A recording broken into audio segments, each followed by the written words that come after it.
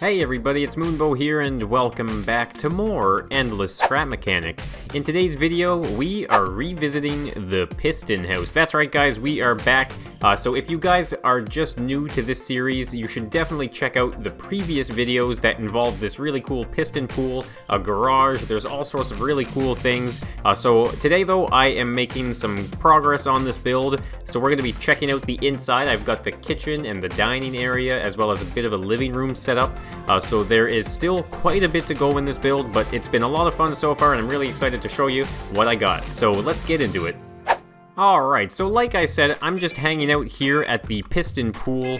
Now, I am going to mention that the pistons are starting to bug out a little bit. You can see the pool cover is now off of it, my little barbecue area was totally blown out of the fence. It's been a little bit of a journey, uh, but I'm still managing. So here we are inside where all of this is going to be happening. This is the kitchen and dining and a little bit of a living room area, uh, and I'm really happy with it. So as you can see, there are a bunch of switches. Now, I'm going to be showing you how this all works on the uh, inside uh, right after we kind of check it all out here. So let's kind of just go around here. You can see see there are a few little lines on the floor, uh, which is not a big deal, but you can see there are a couple areas, uh, quite a few switches too.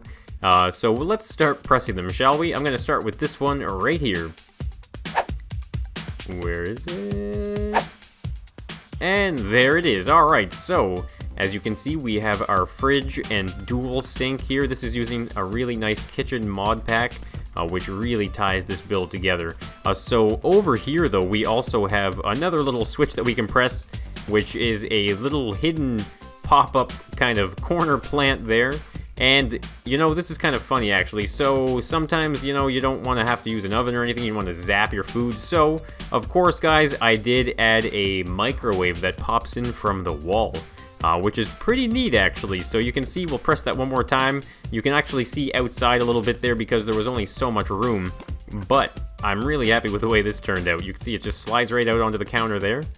And we can press some more switches. So this is the next one here. You can see I kind of just lined the main switches up on the top of the ceiling there so you can press it and get a good view of it. So there we have the center island with a dual stove and dual oven kind of area, which is pretty sweet. I even threw a couple little plants on top of there. Uh, so we can press that one more time and get a little bit of a view. So you can see the basement is filled with pistons. We're going to be heading there very soon. Alright, so the island, we'll get that up one more time. I guess I kind of dropped it down there. Alright, here it goes. Perfect.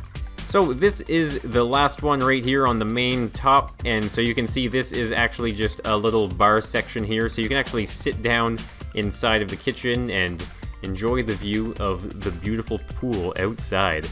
Alright, so let's hop out of there. So those are the main switches. We also have another one right here. So we'll press this one, and there you go. That is actually a slide-out TV. So this one was kind of interesting, actually.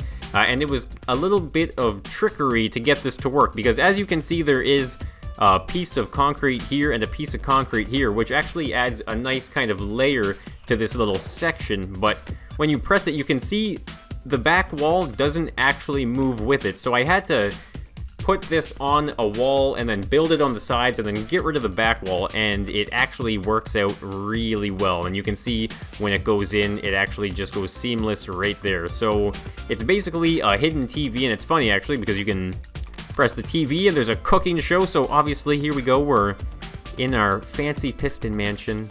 We're getting our little evening supper ready. You can even hear there is music coming out of the TV Ah, soft cooking jazz. It's perfect for this amazing kitchen.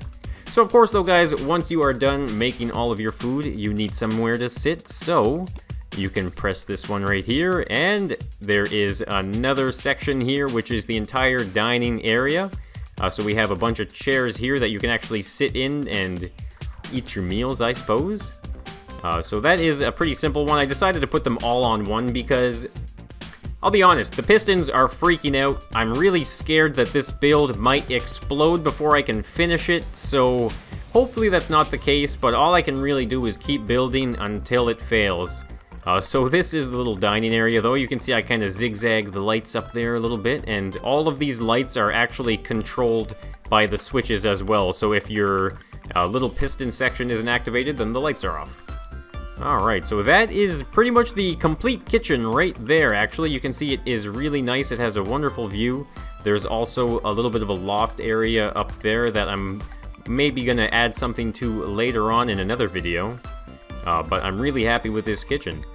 Uh, so I did add one more little section right here, and this is one of those hidden wall ones. So this is pretty cool, actually. Let's press the switch here.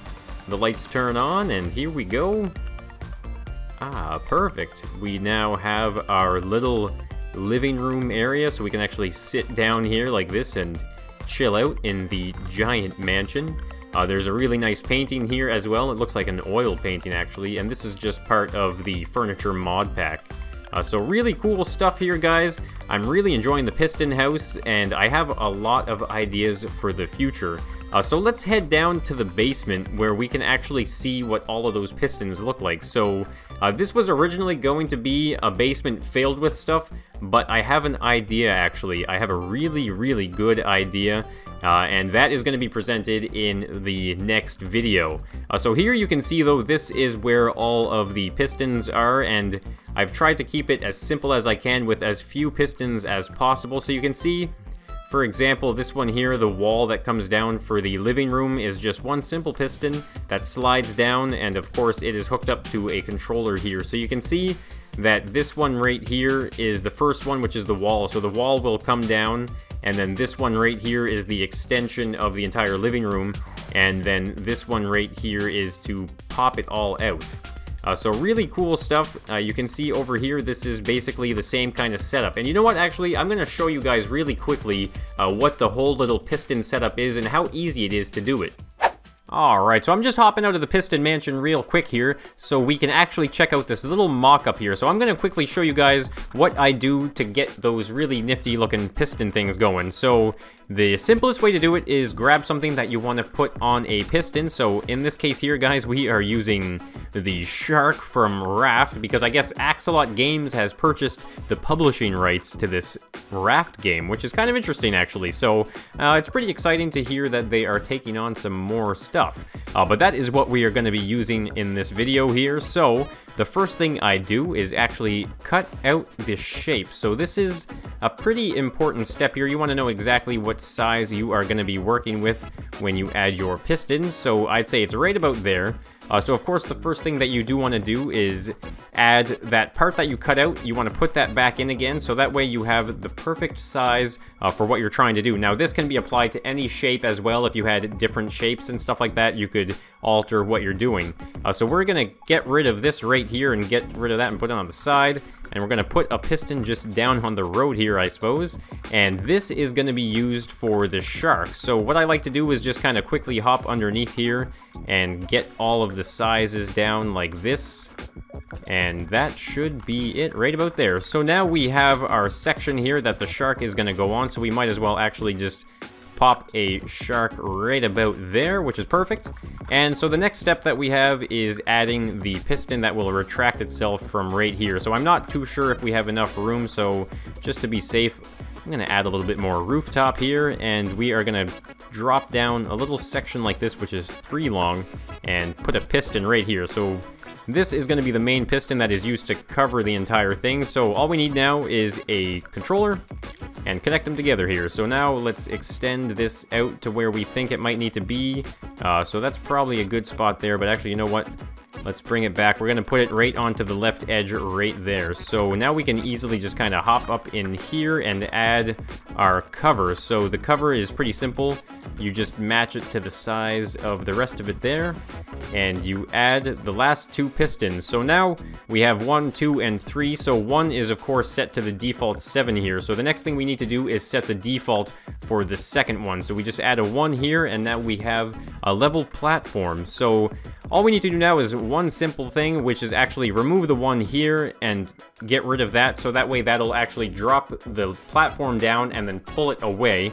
And then once you are done with that, you come down here and you add in your items. So I guess I'm not too sure. I don't think 10 is actually going to be necessary. Maybe we'll start with uh, 7 here, and we'll see what happens. So all we need now is a switch, which we can grab like so, and pop it right there. So hook that up and press the button and here we go there goes the cover and there is the shark so as you can see it is one a little too long so we can drop it down there and that is pretty much it, guys. That is the finished product of the piston thing. So I'm sure there are probably ways you could definitely make it a little more compact, but I find I'm trying to work as quick as I can here. So in this case, it definitely gets the job done, and it looks really cool. And you know what? What happens if we hook that up? Oh, and that is what happens when we hook that up. We get an act that's a, actually a pretty scary shark, isn't it? Alright guys, so there you have it. That is the new addition to the Piston House slash Piston Mansion. It's a really nifty looking kitchen and dining area, new living room as well. And I hope uh, me showing you guys exactly what I'm doing in this build maybe will help you and inspire you to make your own piston houses in Scrap Mechanic. So of course guys, if you did enjoy the build or if you enjoyed the video, then be sure to hit that like button. It'll let me know you're ready for more Endless Scrap Mechanic. And of course, if you haven't already subscribed for Endless Scrap Mechanic, then maybe do that too and turn on notifications and you can get the latest and the craziest Scrap Mechanic stuff coming from me. So thank you everybody for tuning in to Endless Scrap Mechanic and I will be seeing you the next one, so bye for now.